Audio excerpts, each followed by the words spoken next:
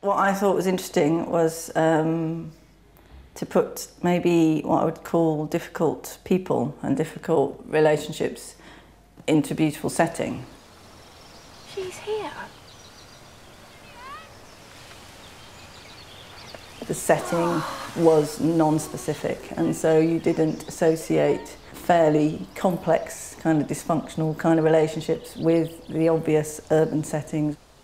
I wanted to make it kind of classless and um, yeah, and, and placeless, really.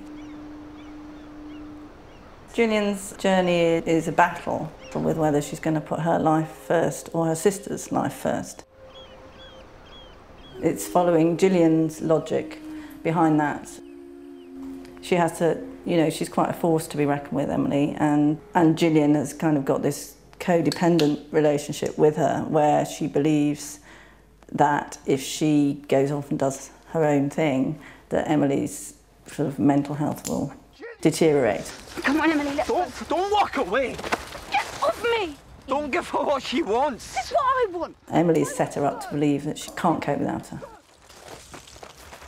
You fucking bit. You fucking mad bitch! Kev is the catalyst to the changes that Gillian needs to make. You try.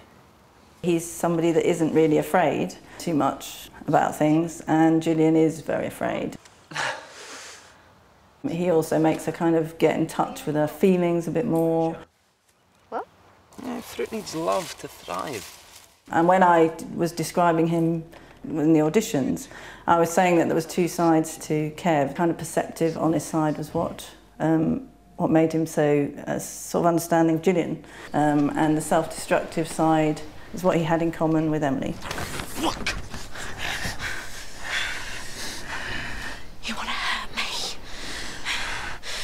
But he's un- fundamentally maybe a bit weak um, and a bit flawed, and um, that's the other realization that Gillian has to have, I suppose.